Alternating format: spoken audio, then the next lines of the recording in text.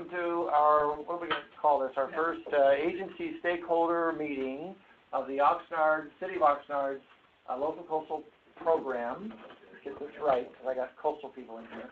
Uh, hey, Carrie, uh, come on in. Uh, local coastal program update. This is a, we'll explain all this, and um, I just wanted to welcome you. Thank you for coming on your time from your various employers, I assume. We will not try to keep you here more than necessary, but on the other hand, want to make sure your comments and so forth are solicited and welcome. Um, Oxnard will tell you the story, but in short, we've retained Rincon Consultants, obviously, and Jennifer Haddow is our project manager. So I'm going to turn it over to her to begin the meeting. Thank Great. you. Um? And I, uh, it's not that big a room, so hopefully everyone can hear me, but if, if you have any trouble, either online or, um, at the back, let me know, and I, um, yes, welcome, thank you so much for taking time out of your schedules to come to what is our first agency stakeholder technical advisory meeting. Um, this is a select group of people that, that have been contacted to help us move some of the, the trickier aspects of this forward to solicit your input, knowing that what we do here affects, you know, different jurisdictions, different agencies, and, um, and ultimately the ability of us, of our ability to have this, uh, package of policies and, and the LCP program update move through the coastal commission process towards approval. Um, really briefly, and just to check, can everyone online, are the slides advancing for everyone online? While we're doing this, um, we'll do the introduction slide because we can just verbally say that and then move on when we get there because I don't want to waste anybody's time. Um, like Chris said, I'm Jennifer Haddow. I'm the project manager for the LCP update. I'm with Rincon. We're the, the prime of a large, not large, a, a varied and technically expert team that's been brought together uh, to assist the city with this. Much tried. Uh, Jennifer, Jennifer, they're coming up okay now. okay. Yeah. Agenda? Yep, perfect. All right, excellent. Um, IT guy gets a big pat the back. Still doing something. All right, well, anyway, I'm gonna continue introducing. So I'm Jennifer Haddow, this is Lexi Journey, the Assistant Project Manager. In, in addition to Rincon, who's assisting with some of the technical work, the environmental work, we have David Cannon here from Everest International, who is doing, uh, some of our sea level rise modeling in relation to the tsunami scenarios and also the vulnerability analysis for the, um, the update with regards to storm drains and other infrastructure, uh, considerations. And he's gonna speak at the second half of this meeting and talk about what he, their team has done already. In addition, we have RRM, uh, Design, who's not here today, but is leading the public outreach piece of the work and is helping to update, uh, some of the policies work, um, and is, is leading that, and will ultimately be updating the implementation plan or the, the code portion of the, of the update. Uh, Revell Coastal is also, uh, contracted with the city to provide any additional, uh, sea level rise modeling in relation to some of the work that's already been done by, uh, the Nature Conservancy. We have an economic expert on, on the team, uh, Philip King up at, um, San Francisco, who's gonna assist with, after we get through the vulnerability analysis portion, with some of the economic impacts uh, of, of sea level rise in particular. And then we also are going to be working with the UCLA School of Law, who is developing a model sea level rise ordinance, and we'll be coordinating with them to see if we can tier off that work uh, for some of our implementation plan um, updates. So I'm going to go back to the agenda really quick. Everyone was emailed an agenda. I hope you've had a chance to look at it. Broadly, the meeting is broken into two parts. There's the general information introduction portion, which is going to be the first half of the meeting. Welcome. And um, we have then a technical meeting uh, in the second half after a short break, which you're welcome to stay for, but if you are not as interested in that piece, uh, you don't have to. Um, and at that point, about the sea level rise work we've done, uh, using the Nature Conservancy's modeling and displaying it for the city of Oxnard in particular, the uh, tsunami analysis that's been added, and then the storm drain system vulnerability that Everest has completed. So while we're at introductions, we have a number of people in the room, and we also have a number of people online. I hate it when people do this to me, but I'm going to do it to you. Could you just very quickly go around the room and say who you are and where you're from, so everybody has a sense of um, the stakeholders in the room, and then we'll we'll go to the phone and we'll have the the people on the phone do the same. So Deanna Christensen, California Coastal Commission. Denise Venegas, um, Coastal Commission. Jordan Graves, also Coastal Commission. Barbara Carey, I'm the district manager for the Coastal Commission. Yvette Lydia, Governor's Office of Emergency Services, Southern Region. Uh, Live Against Watershed Coalition of Ventura County, which is the Integrated Regional Water Management Planning Group, and we're doing climate change adaptation work with us. Dale Carnathan, Ventura County Sheriff's Office, Emergency Services. George Pianica, NRG. Pete Martinez, City of Oxnard, Stormwater Maintenance Supervisor. Mary Beth, I'm the grant manager for the Jim Baylor, Technical Advisor to Beacon. Lynn Krieger, Ventura County Channel. Danielle Carr, uh, County Harbor Department. Robert Hearn, City of Oxnard Engineering Department. Edwin Maderas, City of Oxnard. Angela Lucilio Allen, Ventura County Watershed Protection District. and then going to the phone. Uh, Brian Brennan, Executive Director, Beacon. Tim Murphy, AECOM Santa Barbara, Environmental Support to NRG. Chris else? Kroll, Coastal Conservancy. This is uh, KJ May. I'm with the uh, Port of Hueneme. So I'm the staff engineer attending for uh, Christina Birdsey. Is that it? Okay, great. Well, thank you so much again, everyone, for uh, taking the time out to do this.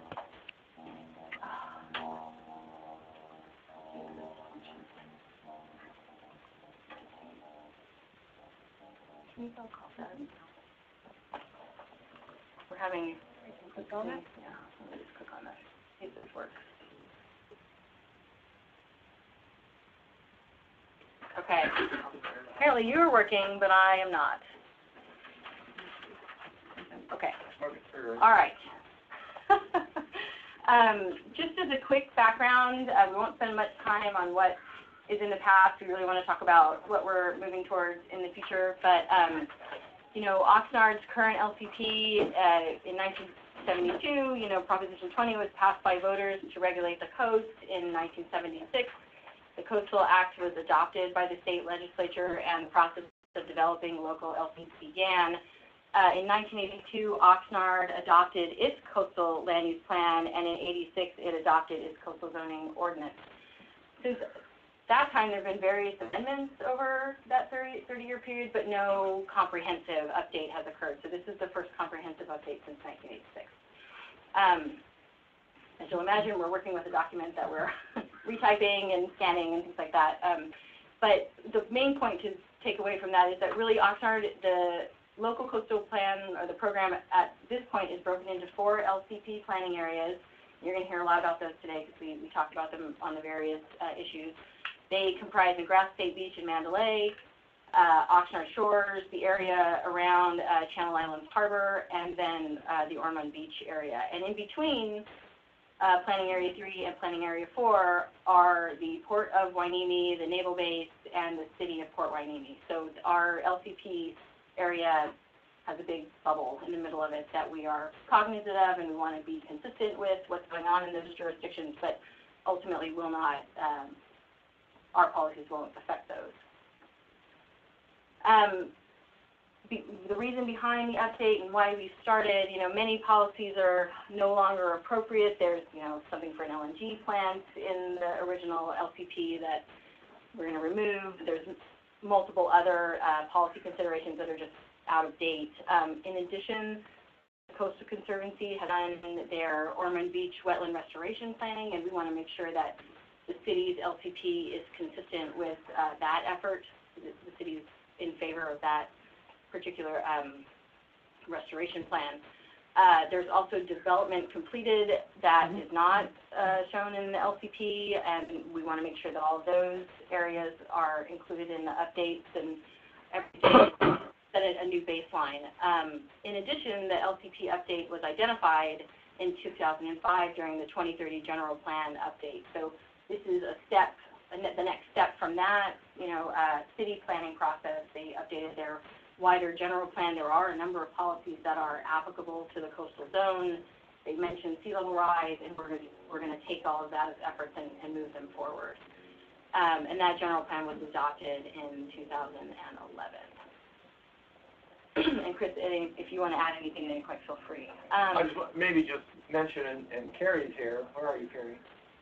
That- Is that, you know, a bunch of jurisdictions up and down the coast are really doing this as well. We're not the only city, we might be one of the ones that's a little further along, but eventually all the LCPs on the whole coast, uh, are encouraged or uh, sooner or later required comprehensively updated. Fair, And- fair, arg- fair statement? Um, yeah, I Close. mean, no, no requirements. No requirements, but um, strongly encouraged. And then also, with that in mind too, the, when those comprehensive updates occur, the coastal commission sea level rise guidance has, is out there, it's been adopted, and when those updates occur, that guidance will need to be considered. And that's what we're doing in our, in our update. Um, as far as funding goes, the city applied for four, uh, LCP update grants between twenty twelve and twenty fourteen. Uh, Chris was eventually successful in securing the money, and um, he received, the city received uh, Coastal Commission and Ocean Protection Council grants in 2014. I want to say last year, but actually that's two years ago now. Um, 150,000 was awarded in 2014, and the contracts were completed in 2015. And we began our efforts in September of last year. Uh, so we're about four months in at this stage. Uh, in addition, the city's topping up required funds with um, development fees as we haven't needed them yet, but the idea is as needed. Is there any questions to date about sort of where we are at or anything that I've said? 'Cause at this point, Leslie's going to take over and a little background on the LCP. Yeah, I'm just gonna briefly go over the LCP process, I'm sure most of you are pretty familiar with it.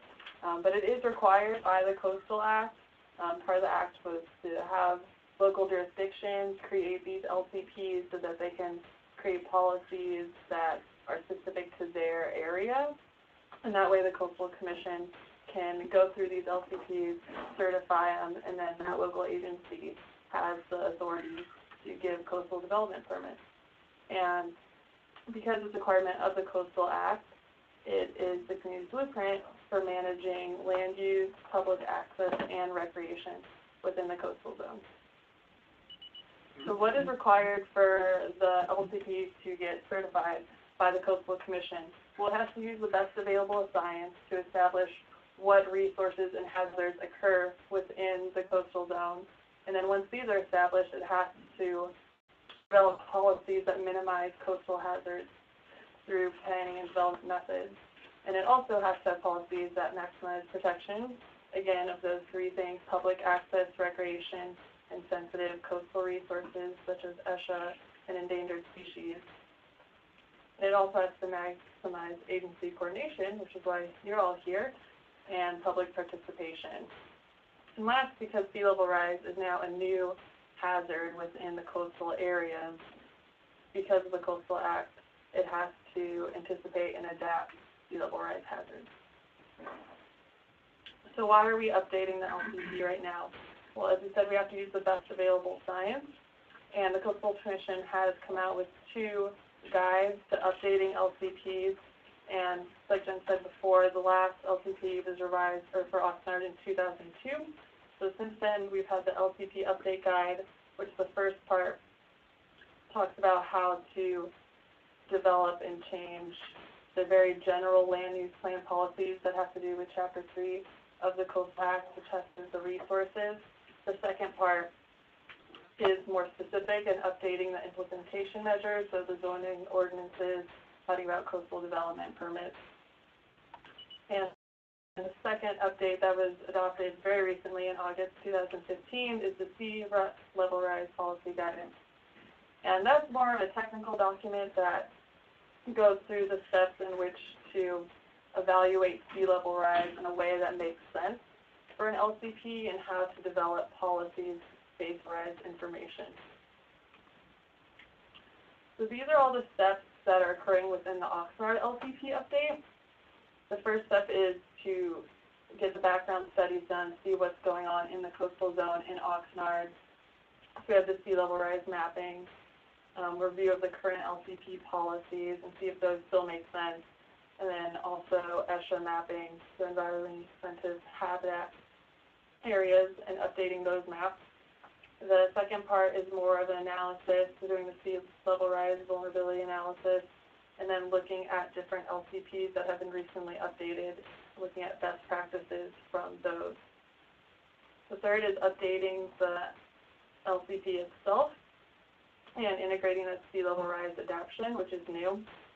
And fourth is public hearings for the planning commission and city council, even though you can see at the bottom that public engagement is involved in all of these steps. And last but not least is to get the LCP certified. That's the end goal. Yeah, and I'll give it back to Jen to talk about where we are so far. And also, um, we do have some time in this piece, so if you have any questions as the slides go by, feel free to break in. Um, hopefully it's all fairly straightforward at this stage, but please do feel free to stop. And same on the phone, if you have a question, please, please ask. Um, this is kind of our, this matches our grant, uh, schedule, and it's just a list of all the things that we'll be doing with the city's, um, program. You know, we've, we have a continuous task of setting up, uh, public agency and technical outreach, uh, and committees. We've already held two public outreach meetings back, uh, in the last month, couple months of last year, where we essentially launched the update process, told people what to expect, you know, why we were doing this, created a, a website, uh, with, that will be updated as things are, are available for people to look at. You know, we're compiling, um, public interest lists all the time. If people, we, it's very interactive. If you have a question or a comment and you want to be involved, you submit it through the website and then you get added to the mailing list for every, um, LCP notification after that. And we, we had decent attendance actually at both of the, the meetings. I'm, I'm hopeful that as we move through the process and we have more concrete things for people to see, that in fact will, the attendance will grow and word of mouth will help see that. And obviously if you want to also spread that word, we'd appreciate it. Um, in addition, uh, we had already actually begun the sea level rise um, mapping prior to the start of this project, and we have now finalized that. I have a, a draft hard copy here if anybody's interested in looking at it that has some of the um, pretty pictures and some of the text around it. The maps themselves have been available. They're right here to my, the combined hazards are right here in the room, but the suite of mapping that we did it, uh, back in the last quarter of last year is available on the LCP website if anybody wants to look at those. Uh, a small caveat to that, and we'll talk about it again a bit later because we're going to go through some of these maps. Um, that mapping is all based on modeling that was done by the Nature Conservancy. The city didn't create the modeling. We, however, used it and zoomed in, because for the entire Ventura Coast, we, you know, zoomed into the city, zoomed into the individual planting areas to really be able to get what those models show occurring uh, within each of the, the planning areas, both under, uh, you know, current, or current, uh, short-term, medium-term, and long-term modeling scenarios, which are 2030, 2060, and 2100 uh, years, and then with uh, various different types of uh, sea level rise based on the various models that are out there that are considered to be the best available science now. So we've got what seemed like a lot of maps. I think it's like 100. We counted them. 100 maps that, that show in the individual planning areas over a time period with various different coastal hazards like wave run-up and erosion and things like that, what the impacts to the various planning areas are. And we'll, we'll talk a little bit more about how we're going to use those later, but, um, but that, that step is essentially finished. And I'm, I'm hopeful that we're going to have our complete atlas ready and up on our website in the next few weeks. We're, we're almost there. We're just finessing the language. So Just a note, so it, we have our four planning areas, but we also did the Port Hueneme and the harbor. and we call that planning area five, but it's not our jurisdiction. But all that is available to harbor, the county, for Silver Strand, all of it being open to anything we have, The Port of Hueneme. for Hueneme, uh, by all means. So, um, and if you, after this meeting, I'll say it again again, but after this meeting, if you have any, if you go back and you think about something, you have a question, or you want to talk about getting the data that we may have or further information, please don't hesitate. You have Lexi's email address, you can email her, if you have mine, you can email me, or you can submit your question through the LCP, uh, update website, and we'll get that information to you as quickly as we can. Um, so that's essentially complete. Uh, the next step after today's meeting really, because we want to talk about the uh, vulnerability work that David's team has done, is to take the risk assessments, the sea level rise modeling, and all of that, and look, really dial into the individual planning areas and figure out what those vulnerabilities are, what infrastructure is at risk, what, you know, residential areas are at risk, and determine what policies or what um, future needs those areas are going to have specifically to sea level rise. Uh, so it won't be a blanket policy for the whole city. We're really going to focus in on what the assets and infrastructure are in each of those areas and try and, as much as possible, have them be tailored to those areas. Uh, in addition, we're going to bring our economist on to help us quantify, if possible, what the economic impacts of sea level rise is and also what the economic repercussions are would be of various adaptation strategies. So um, that's really our next step, and we're after this meeting, we're going to start working through that process with the hope of being able to come back to this group, you know, in the second quarter of the year, depending on how that goes, and reconvene with those those results and, and let you see what we've done and the methodologies we've used, and you know, get some some input on that before we present them to the public. Jennifer, can I, so that's task three. Mhm. And what we're focusing on now, and this is where we are asking for your input and, and whatever, work with you, obviously, that, uh, for the city, we're looking at our city storm drain facilities, city streets, for example, you know, anything the city has that's in these zones that's vulnerable. For the county, there's obviously the county drainage facilities and in the county unincorporated pockets. Um, we have a, two major public, uh, infrastructure power plants that serve a wide area, so we're kind of treating those as quasi-public, uh, because they do serve the public. And then, for private property, that's more the focus of, uh, Phil King and his kind of looking at, you know, parcel data and valuations of property on kind of a more generic level, um, using parcel database data. So we're not getting into individual houses, obviously owned by individuals, but we're focusing in, the- short run right now on the pub facilities. And I'm glad emergency services here because, you know, what we're to find out is what's, what's an immediate problem that might be next time we have a storm, right? Or what's a short-term thing that might go into a capital improvement program for three to five years from now? And, uh, and then in the city of Oxnard, we have these capital, uh, we have our, uh, master plans underway, right? For our stormwater drainage and all that. They're drafts right now, but it's still not too late, I think, that if something comes up because of this, we can still get those into our master plans for long-range planning. So it's kind of a, a good time in a, in a bad way, you know, to be talking about this stuff. The, the other interesting idea, or interesting aspect is that a year of El Nino has actually raised the sea level by one foot right off our coast. So we are seeing a preview of what will, what will be the new normal at some point, you know, whether it's 10 years or whatever, but at some point in the future, this is the new normal. So nature has kind of given us a preview window here of what we should be looking at is actually happening. And uh, when El Nino goes away and the surf goes down and people move on to other things, they're going to kind of forget about this maybe, you know, but we shouldn't.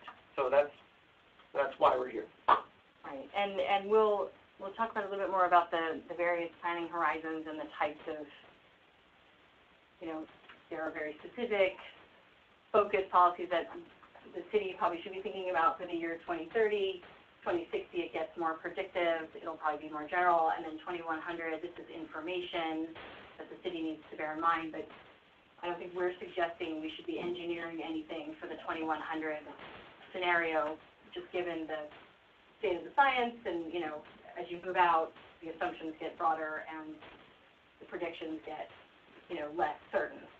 So, um, that's what we feel, that's basically the steps we're moving towards when it comes to doing task four, which is reviewing the LCP policies and programs that are in place now and starting to integrate, we're gonna update them, not just for sea level rise, but as Lexi said, based on the best, best, uh, practices up and down the coast for other LCPs, and we, we started to gather, you know, just a, a library of policies that have been adopted in the last few years, uh, in other LCPs, and we're gonna start going through those as policies that we assume are, can make it through the coastal commission process, so they are best practice. We're gonna start compiling those, figuring out which ones work for Oxnard, which ones don't, and then start submitting those to the coastal commission for review in advance of submitting the package so that we can, you know, get an idea of what, what will work, what won't, um, and getting feedback early on in the process. And I think we've already submitted some of our ESHA work and have received great feedback on that, so thank you very much. Um, finally, we'll update the, the document as a whole. It'll go through the city, uh, approvals process. And then, um, at the same time, obviously bearing in mind that the commission has its own parallel kind of CEQA process that, that needs to be completed. Um, we'll be doing that as we adopt, we propose these policies, as we talk about, uh, you know, engineering solutions that may or may not need to be considered, conduct our parallel environmental review, put the whole package together, and then submit it to the coastal commission. Coastal commission then responds, uh, on those policies. So this will not have been the first time they'll have seen the policy package, so, you know, hopefully we can, we can address many comments early on, uh, resubmit, and then, uh, achieve coastal commission certification in late twenty seventeen. Our, our target at the moment, uh, due to our grant, is about a year from now, we'd like to submit the entire revised coastal plan and I guess the implementation, the coastal zoning that goes with it, first initial submittal to the coastal. Schedule. That's pretty ambitious, and we'll, we'll see, and we'll try. Well, no, we're gonna try. We're gonna do it. We're gonna do it. All right. We're gonna do it. Uh, so I, I think I've said a lot of this already, but what we've done so far, uh, we use, Revell Coastal, uh, has used the TNC Coastal Resilience Ventura modeling to prepare, uh, sea level rise mapping with the various coastal hazards that were modeled as part of that effort, and I'll, we'll go through those a little bit later. Uh, David's team has done a tsunami and a drainage vulnerability, uh, analysis with sea level rise, and in fact, we also have some uh, additional modeling that we're gonna talk about today, and we have copies of those memos here, and in, at the break, uh, what Lexi can do is email that, uh, memo to everybody who's on the phone. Um, and then, um, we, uh, have started our LCP policy review, and in fact, that's into the city for review at the moment, so we'll be submitting, a first policy, uh, revision draft to the commission shortly, uh, for some initial thoughts. Um, we've mapped our ESHA areas and have submitted those to the commission as well and received some feedback and we're updating that at the moment in response to those. And then we have started our coordination with the various agencies and stakeholders, uh, most of whom are in this room. And then, as I said, we've started our public outreach and we intend to go back out to the public with what we've done in the next few months or so, as soon as we have something concrete to present to them and, um, get their feedback. Yes. Are you coordinating with the cities, the neighboring cities and the counties? So we have spoken with Jennifer, and I- she, I think she was gonna be on the phone today, um, but we've, we've spoken to her about what the county is doing for their LCP. I know we've definitely been chatting to her about the ESHA mapping and, um, some of the IP updates, the zoning ordinance updates that are being done. So we, yeah, we are, we're talking with her regularly about sort of what they, what she's experienced and gotten some ideas and some examples from her. And are Ventura and Port Hueneme also doing? They are not, as far as I'm aware, in the midst of any update process, so we aren't. But what we are doing, uh, Martha Miller, who is RRM project manager, is, um, for, our- or managing RMP for us, is the PM for the Goleta, uh, LCP update at the moment. So we are taking some of her lessons learned in that process, which is about twelve months ahead of us, and integrating those into our process. So we're, we're chatting with not just the Ventura agencies, but those up and down the coast who are in this process at the moment, so, yeah. Collecting data in St. City, Port Hueneme, like you are at the, at the Channel Islands Harbor and? We have, um, used the TNC mapping, uh, and we have prepared maps for the city of Port Hueneme, uh, but we aren't collecting any new data. We've just used what, what was there. We figured it was, it would look a little odd to have four things and then a big blank spot and then down the coast. So we, we did the maps for them, and I know it was at, one of their counselors was at one of our public outreach meetings. Was quite pleased to hear that we had already done that effort for them. So, um, but other than that, we aren't, uh, doing anything in the city. Um, so next steps this spring. So we're, this is where we are at the moment. We are working on our sea level rise vulnerability assessment, and hopefully after this meeting, uh, we can take that with the methodology we've used and move forward to start some of the, um, planning area specific, uh, work. Um, we are, have also started our, um, policy updates and are moving towards that we have, are in the midst of describing existing conditions, uh, which is a, a part, of the LCP. We are developing new policies or adapting old policies to meet new requirements. Um, we are integrating information from other agencies as relevant and as available. I know we've been in contact with the harbor to see if we could get some marine information to inform kind of the Back Bay, um, area. The harbor itself is not in the LCP planning area. It's subject to its own uh, plan, but the area north of Channel Islands Boulevard is subject to it, and obviously the marine resources don't see that bridge as a barrier. So we, we've, you know, been talking to Lynn about seeing if we can get some background information to inform that analysis.